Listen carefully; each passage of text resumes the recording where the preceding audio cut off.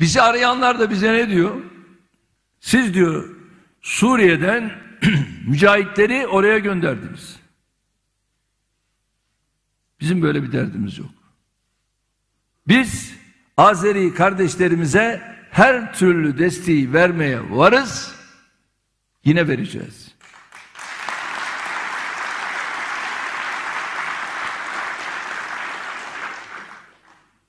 Ama Minsk üçlüsünün içerisinde olanların verdiği desteği niye konuşmuyorsunuz? Rusya'dan bu kadar silahlar geliyor. Aynı şekilde Fransa'dan bu kadar silahlar geliyor. Bunları niye konuşmuyorsunuz? Ve bunca besleme karşısında sessiz kalıyorsunuz.